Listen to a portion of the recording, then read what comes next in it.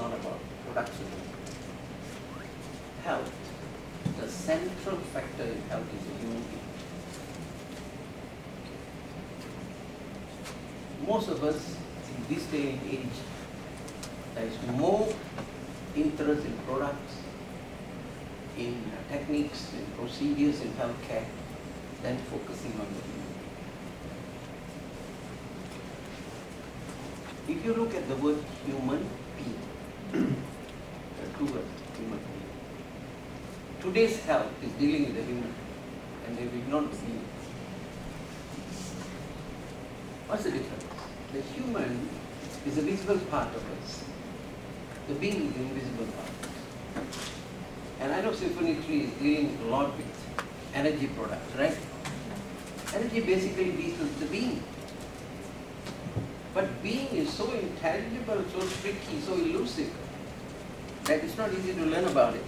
It's like just trying to catch the mind of a person and analyze it. You can't do that. That part I will leave to your boss. Deal with the being with your special products, right? You all have energy products.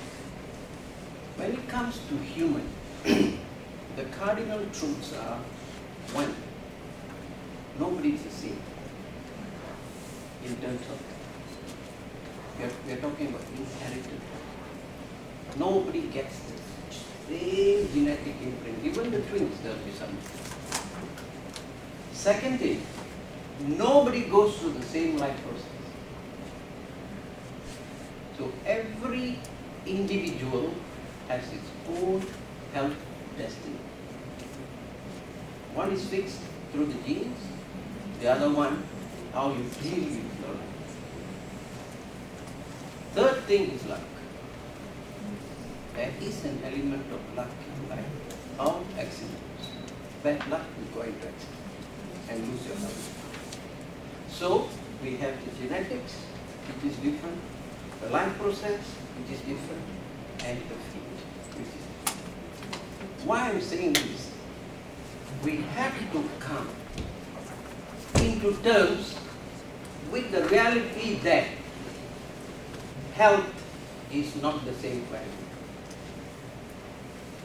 everyone. Individual variation is the reality. Now, where does this come?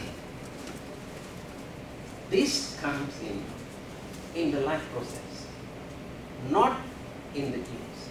You cannot use biospectra to manipulate the. But you can use a product to keep your body, which you have inherited with various genetic strength, to the best possible optimum balance if you get a product which can balance your biochemistry. Even then, your lifestyle will still. Notwithstanding that, putting that lifestyle all aside, when you want to talk about body,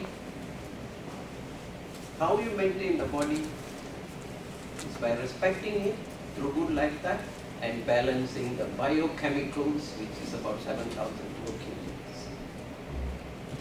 This is the special, the revolution is talking about. It is no more the traditional pharmaceutical theory of theory, we call it the uh, doctrine of signatures.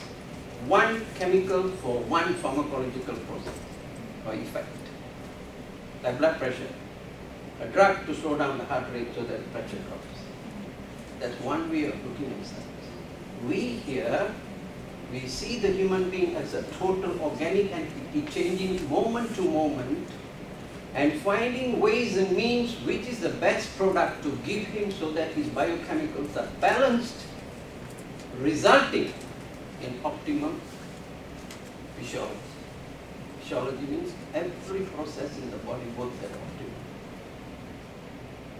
So the research which I did was to find out in nature which product contains the highest and the broadest range of bioactive principles that can cover the 7,000 taken on a regular basis without causing any harm to the body.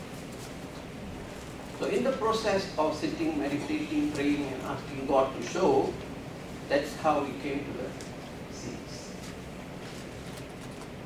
If you compare a seed with a multivitamin, take a seed and a multivitamin. 19 products, bioactive principles in a multivitamin with minerals. A was hundreds. But the difference is the quantum is very small, parts per million. The wisdom behind that is we have to ask nature. Nature's wisdom has put that quantum into the seed. And nature has got the power and wisdom to create our lives. So I'm sure we have to trust nature on that. So we take the seed, then which seed to select? Next question in the research. Seeds which have been consumed by human beings for ages without any thought. So I went into.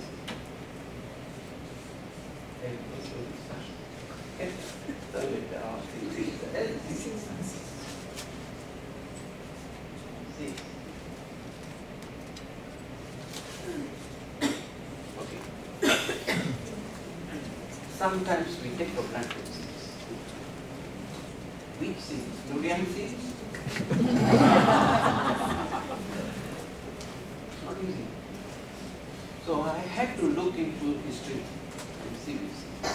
Finally, the safest seeds are the cereals, the beans, and the spices. The one which is consumed the longest in the history of mankind and the safest, and has become part of the food for daily consumption. Next step in the research, what does the seeds contain inside? Because we have been eating it, we just look at the sea. it's so simple that we a complicated thinking mind, we only look for complicated high technology science. We sometimes brush aside seeds, so simple as that. But if you take a, a vitamin and a seed, you analyze, the seed is so much more rich, more complex than any vitamin you can bring, any kind of products you can extract and take out the seeds. The seeds which we took, spices, beans and cereals,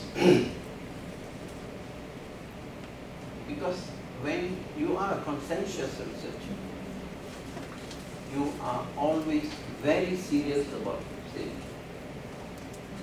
You must make sure whatever you take is safe. So we have to choose the edible seeds.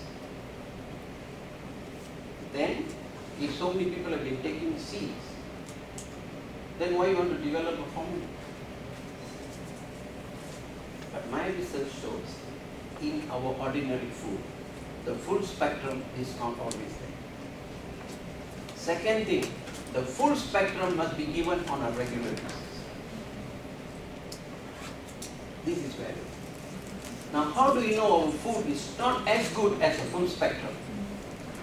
What indicators we use to research? The frequency of illness. The intensity and the gravity of the illness indicates the strength of the population. Okay. If you don't get flu for six years,